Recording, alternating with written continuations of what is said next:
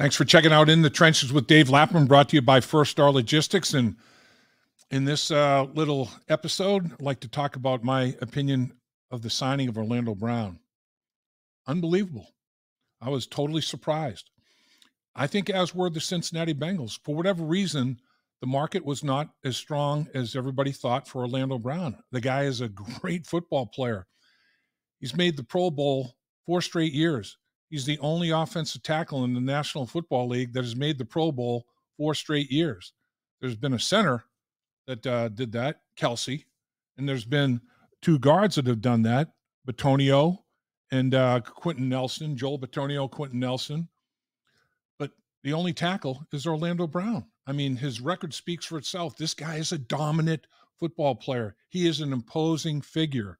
Joe Burrow has to be excited about the addition of Orlando Brown up front with the offensive line.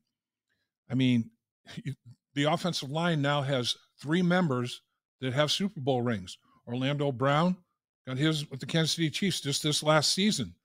Uh, you've got uh, uh, Cappa at the at the right guard position, got his with the Tampa Bay Buccaneers. Karras with the New England Patriots. I mean, that's that's amazing when you have three of your five offensive linemen Super Bowl rings on their fingers. And Orlando Brown is one of those guys that's a bell cow. This guy is six foot eight, 365 plus pounds.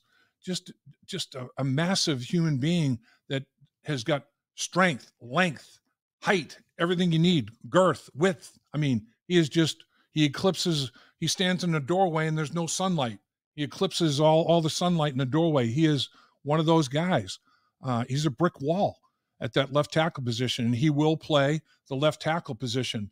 Um, the Bengals gave him a record $31 million signing bonus, but the overall deal, averaging to $16 million a year, four years for 64 million, is less than Mike McGlinchey got. So, I mean, it's it's a good signing.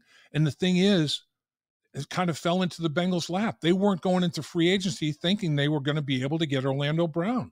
But as it worked out, teams that are able to able to pivot quickly uh, get get an advantage. Teams that are patient and have an ability to pivot, the two big P words, be patient and let the market dictate what's going on with these players, and then you can determine I'm out or geez, I might be in on this. Well, the patience paid off, and their ability to to pivot. They meet every morning at eight o'clock in the morning.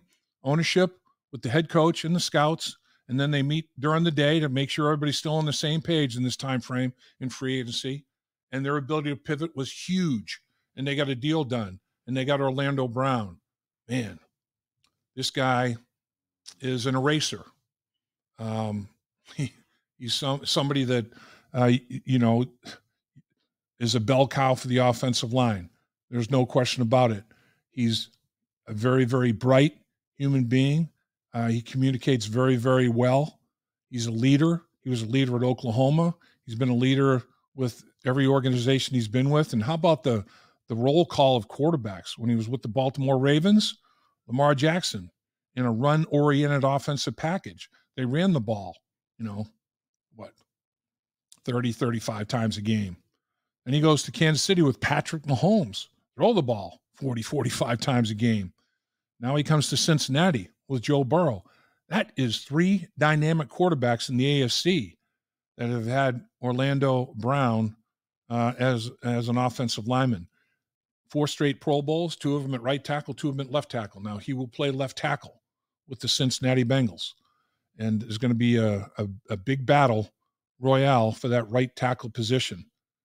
But you look at it, um, it's a it's an outstanding signing for the Cincinnati Bengals. Uh, and uh, hopefully, with space that's left in the in the um, with the salary cap for this offseason in terms of veteran free agents, maybe target a safety, bring in a veteran safety. That'd be a dream come true for me. After you you sign Orlando Brown, that's a good part of the cap is chewed up there, but wisely spent. I'd be good if they could pull in one veteran safety and then address the safety position in the draft as well as other positions in the draft. But that would be a good uh, free agency period for me as far as the Cincinnati Bengals are concerned. Sometimes you never know how it's going to unfold, and you have to be patient and you have to have an ability to pivot. And the Bengals showed both. Tremendous signing, Orlando Brown. Dave Lapham here, and every day I am grateful for my experience to have played professional football. As a player, I realized self motivation, leadership, and appreciating your teammates are key. At First Star Logistics, you can use those same attributes to create the life you want for you and your family. Build your future by working hard like I did. You'll see results both on and off the field. Call First Star Logistics today and be part of our winning team.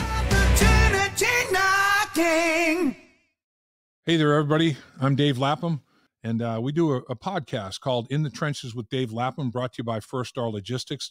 And if you want to uh, hit the like button on when you're reserving any video, that'd be a good thing to do. And if you want to subscribe and not miss any videos, make sure you do that because we are going to try to cover the Cincinnati Bengals every way that they can be covered.